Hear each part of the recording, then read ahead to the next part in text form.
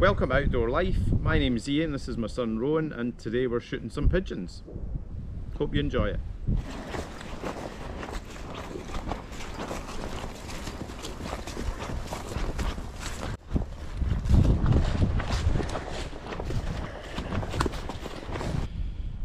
So just going to show you what we're shooting over today.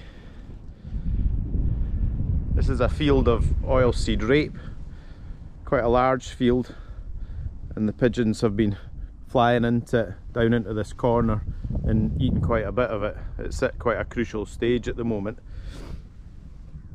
Just not long through the ground. So the farmer's, farmer's quite keen to, to keep them off it.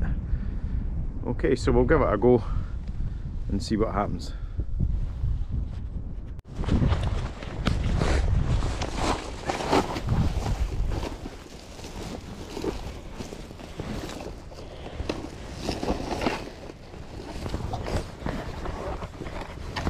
Some decoys.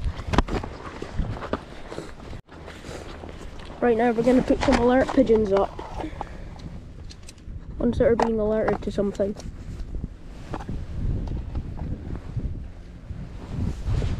These will shift about and move in the wind and create movement. For the pigeons, other pigeons to see. That will attract them in.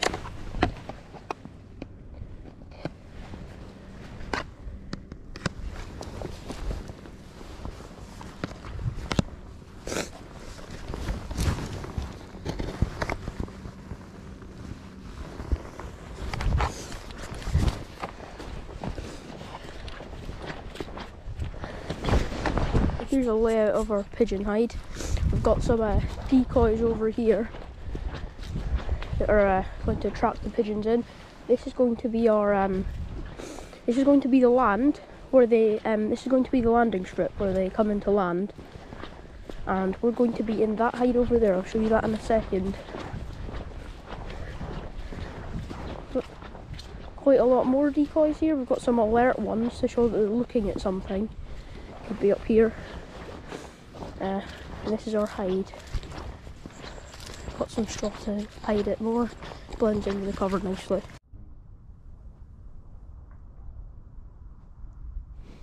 So we've been here for about half an hour now, there's not much happening. Uh, this is the farmer, where the farmer wanted us to go. Um, but we did see some pigeons elsewhere, so we'll give it another half an hour here and then try somewhere else.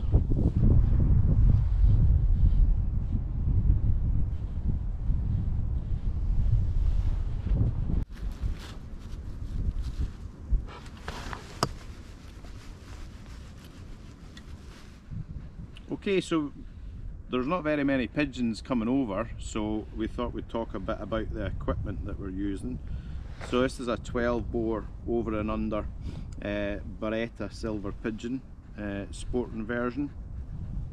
Uh, we've got half and three quarter chokes in. Cartridges we're using, um, they're RC Sipe uh, 32 gram 6 fibre wads because there are some cattle and, and sheep uh, on this farm so we tend to use fibre wads on all our farms. Uh, Rowan's using uh, Kofs uh, over and under 410 ejector.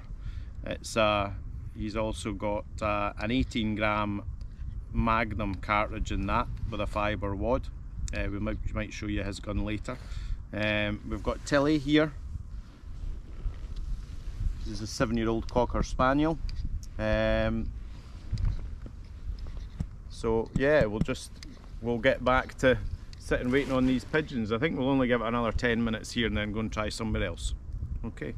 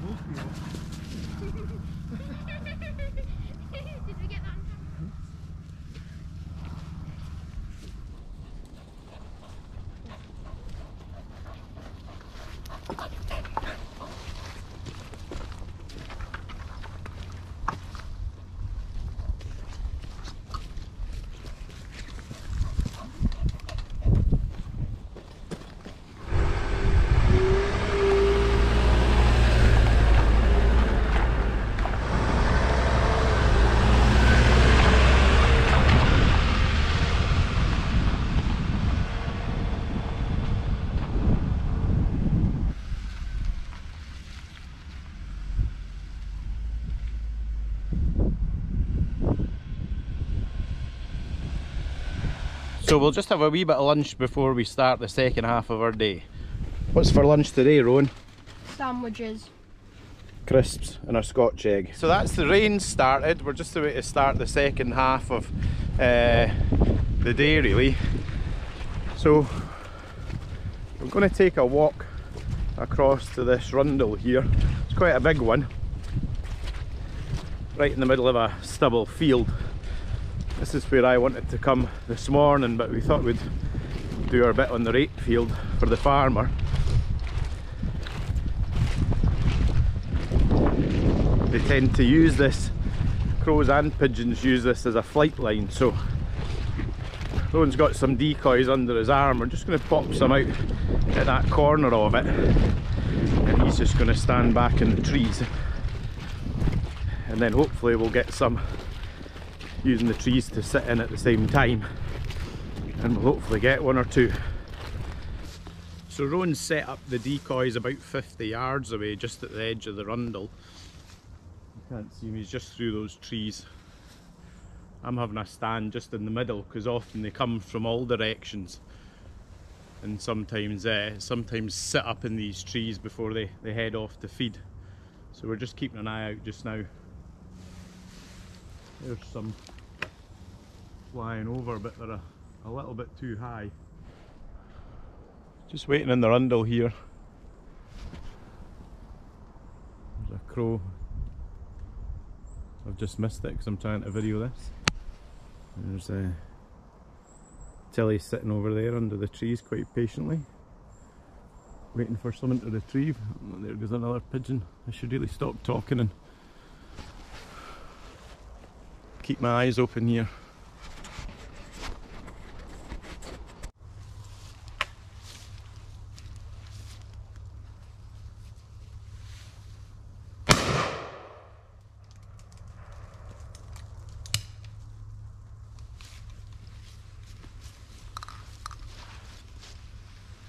So we've managed to get one down.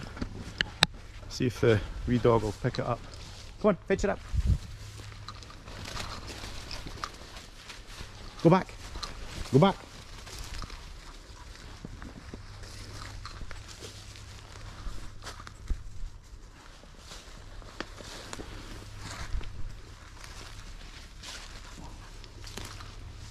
Fetch it up.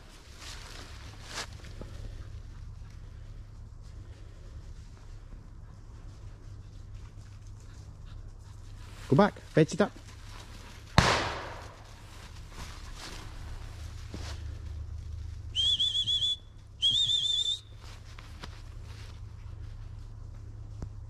There, there. Fetch it here then. Good girl.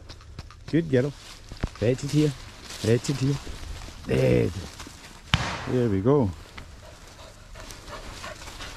So there we are. Nice little wood pigeon. Finally got one. We'll go and see if we can get some more.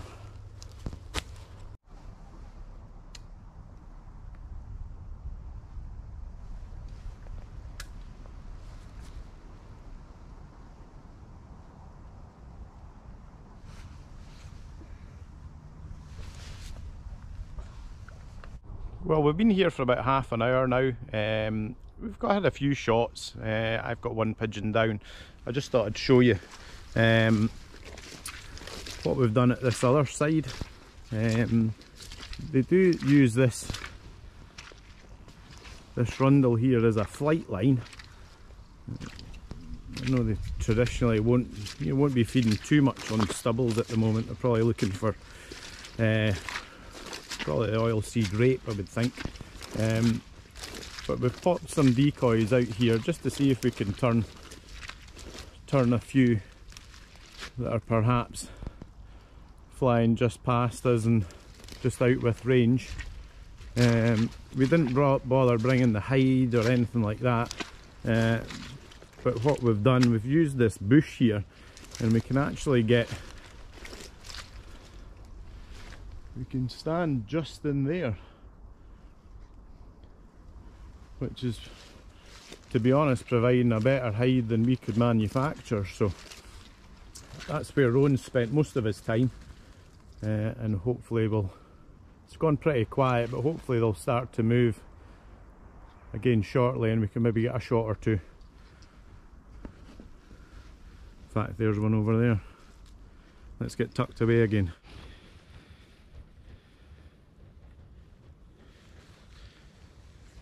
so it's still quite quiet. I just thought I'd show you Rowan's gun here. Um, so this is a 410 uh, which is really the smallest shotgun that you get. Um, but it's an over and under uh, multi-choke which is the little bin, bits that go in the, the, the, cylinders that screw in and out of the end so you can make it uh, a tighter pattern or a wider pattern it's an ejector as well so it'll eject the cartridges uh, once you've fired and they're empty. It's a 3 inch chamber so it can take a cartridge quite a long cartridge. Okay what we use I think I mentioned it earlier in the video uh, it's a 410 cartridge obviously 18 gram. It's a magnum fiber wad.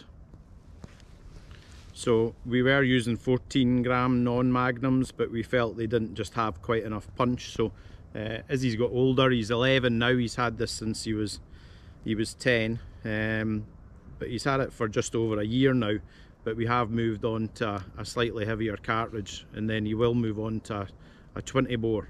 Um, who knows when he'll get that. But uh, maybe sometime pretty soon to be honest because he has grown an awful lot in his strengths uh, increased so far uh, a fair bit this year. Okay but that's his there. Nice little gun. It's a the Kofs you can buy brand new um, for about 500 pounds. Uh, great little gun great little gun to start. And yeah shoots very well and he's shot ducks with it crows with it uh, pigeons with it. Um, and yeah it does the job especially with a slightly heavier cartridge.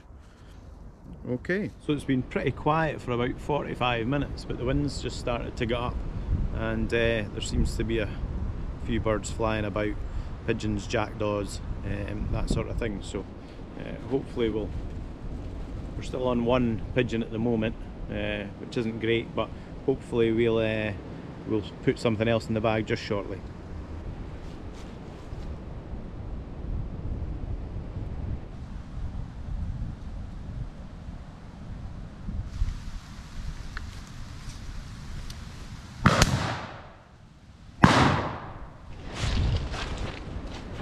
there is.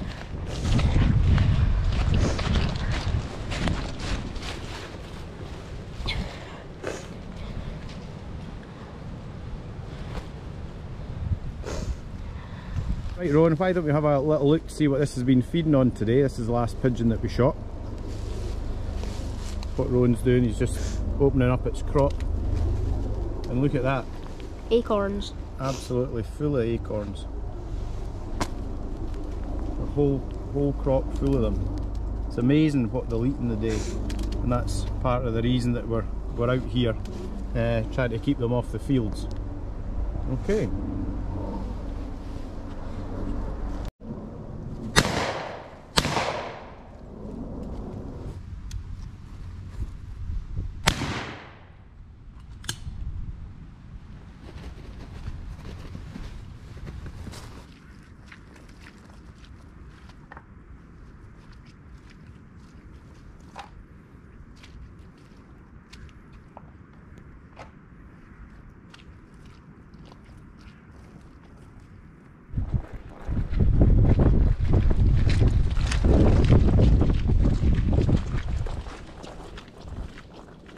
That's us finished for the day. We've been here for about three hours, nothing happening at the field lunchtime slash early afternoon. Uh, then we came across to the Rundle. We managed to get uh, a few shots in and a couple of pigeons. So hope you enjoyed the video and uh, we'll see you the next time.